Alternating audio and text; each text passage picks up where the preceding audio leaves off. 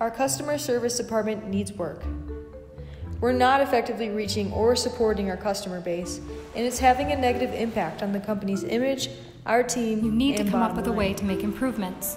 We want, no, need loyal customers, and that requires exceptional customer service.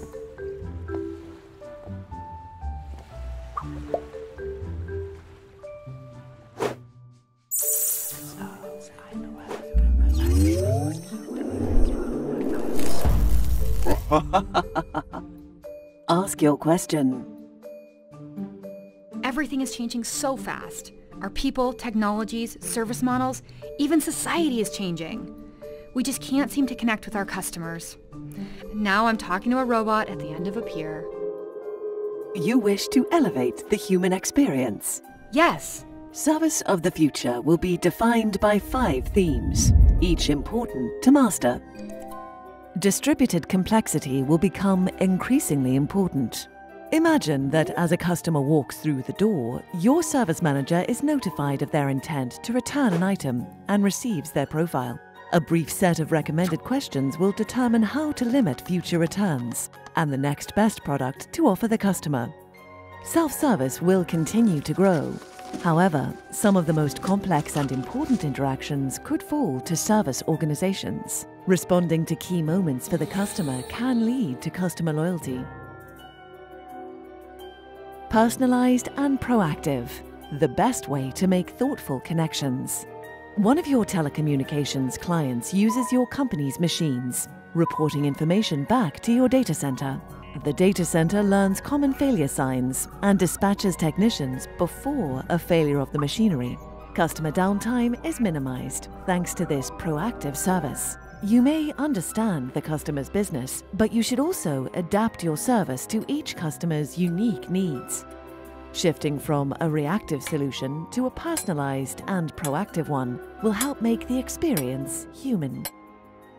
Ecosystems will become further interdependent.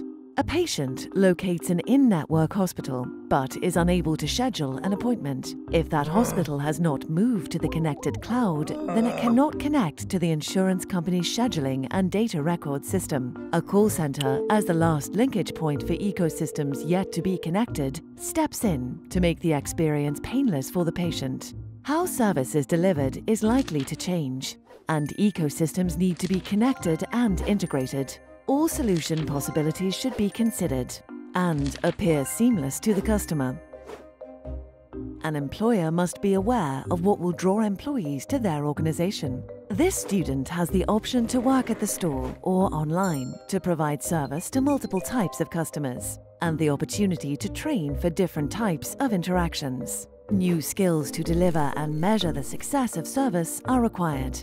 Tech savviness and a human centered mindset can be essential for employees, as they should be able to multitask and support multiple types of interactions.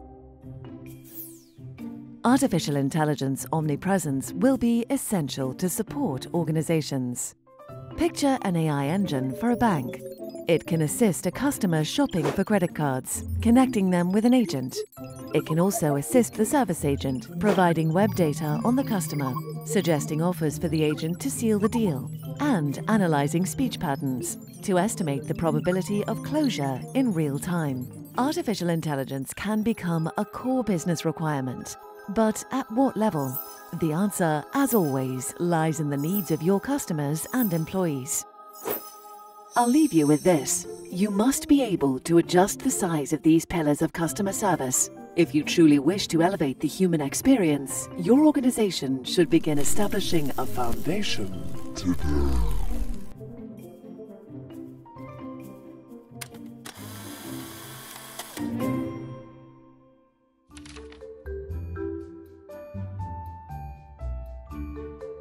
it's all so clear now. I'll use what I've learned. Thank you.